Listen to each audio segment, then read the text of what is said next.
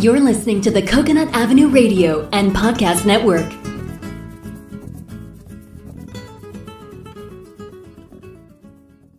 Welcome to Out There on the Edge of Everything, the show that examines, helps you understand, and effectively deal with the interesting edges of life.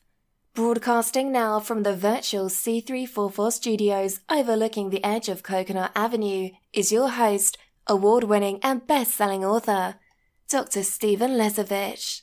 Hi, this is Dr. Stephen Lesavich out there on the edge of everything. This episode is entitled Labor Day, Barbecues, 15 Minutes of Fame, and Follow Through. Have you ever planned something fun or important, then decided not to follow through on your plans because of a change in circumstances?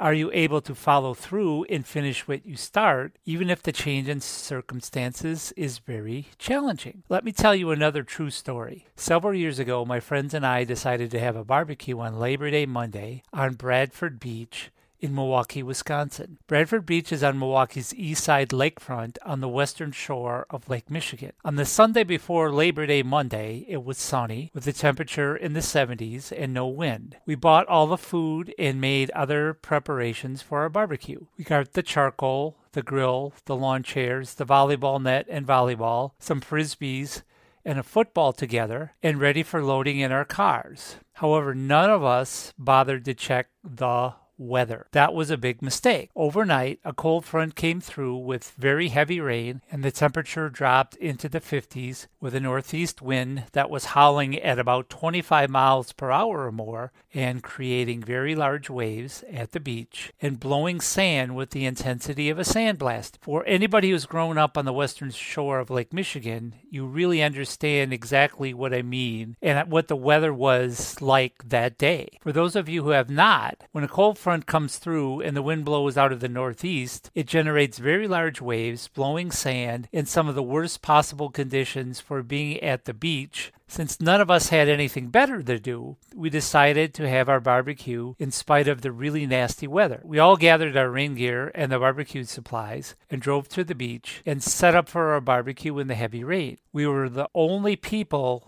for miles up and down Bradford Beach. We had such a good time. That Labor Day barbecue was probably the best holiday barbecue we ever had, in spite of very challenging conditions. I do not think we ever had more fun or laughed as hard as we did that particular Labor Day. On a typical Labor Day weekend, all of the local news stations do stories about people engaging in different activities and enjoying the last few days of summer. That Labor Day weekend was no exception. Since we were the only people on the beach for miles having a barbecue in the heavy rain, in 50 degree temperatures, the local reporters who work for ABC, CBS, and NBC affiliates in Milwaukee all stopped by to interview us to have us explain why we were still out on the beach having our barbecue. The edited interviews were all shown on the 10 p.m. news on all three local news stations. All of our friends and neighbors saw the interviews and thought the whole experience was hilarious. We created a memory and a life experience we still talk about today. We all followed through in spite of the change of circumstances and very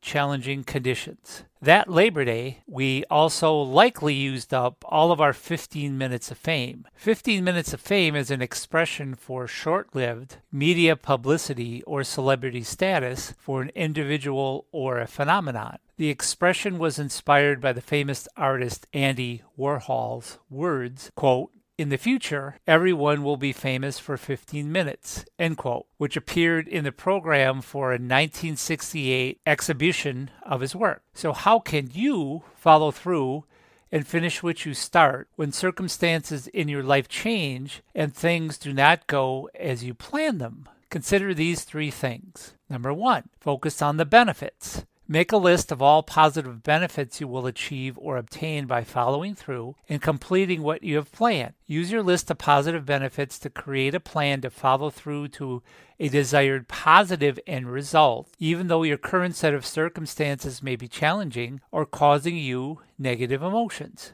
Number two, become comfortable with being uncomfortable. Understand and acknowledge that your own short term discomfort will lead to long term gains and achievements. Personal growth begins in a state of chaos, which is the catalyst of change, and ends in a state of calm and peace. Embrace the chaos of change. Change your current relationship with change and your emotional triggers that cause you to be uncomfortable and reframe them as an opportunity for positive growth. Number three, become action oriented. Create a set of small, meaningful action steps you can take to follow through to your desired positive end result. Next, prioritize your set of action steps. Take daily actions on these small, meaningful steps based on your priority scheme. These prioritized daily actions allow you to maintain a positive daily orientation and allow you to successfully follow through to your desired positive end result, even when your current set of circumstances is very challenging. Having the ability to follow through in challenging circumstances will allow you to create a positive impact in your own life and in the life of others, and may even allow you to capture some of your own 15 minutes of fame. Until next time, I'm Dr. Stephen Lesavich, out there on the edge of everything.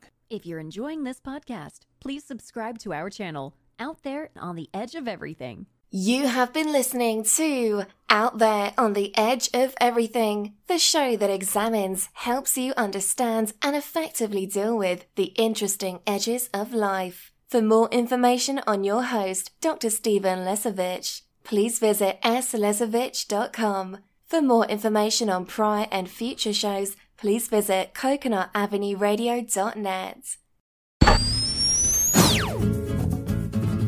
This is the Coconut Avenue Radio and Podcast Network.